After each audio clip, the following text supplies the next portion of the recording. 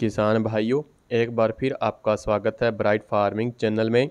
आज के वीडियो में हम मूंगफली की फ़सल में सुंडी के द्वारा पत्तों को नुकसान पहुँचने के बारे में जानेंगे। तो आइए जानते हैं इस सुंडी के बारे में विस्तार से। उससे पहले, अगर आपने ब्राइट फ़ार्मिंग चैनल को सब्सक्राइब नहीं किया है तो चैनल को सब्सक्राइब व बेल आइकॉन पर क्लिक करें।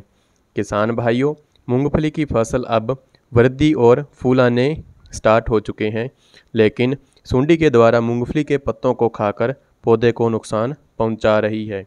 किसान भाइयों, यह सुंडी मूंगफली की फ़सल में रात को पौधे की पत्तियाँ खाती है। वह दिन में यह वापस भूमि में या या गिरे हुए पत्तों में के नीचे चली जाती है।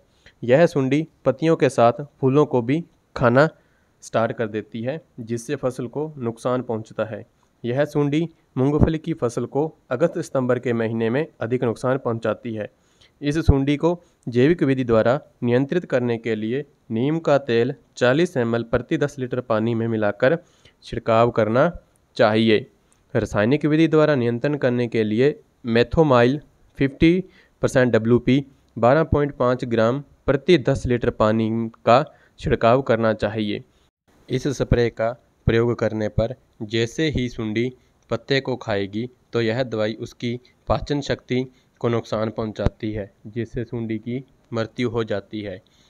इसके अलावा किसान भाइयों, सुंडी को कंट्रोल करने के लिए कारबेरी 900 ग्राम प्रति 100 लीटर पानी की दर से गोल बनाकर छिड़काव करना चाहिए। तो किसान भाइयों, मेरे द्वारा बताए गए किसी एक कीटनाशक का प्रयोग करके आप अपनी मूंगफली की फ़सल में सुंडी को नियंत्रित कर सकते हैं। मेरे द्वारा दी गई जानकारी आपको कैसी लगी और फ़सलों में रोग, कीट व अन्य किसी समस्या के निवारण के लिए कमेंट करें। वह वीडियो को लाइक, शेयर और चैनल को सब्सक्राइब अवश्य करें। धन्यवाद। जय जवान। जय किसान।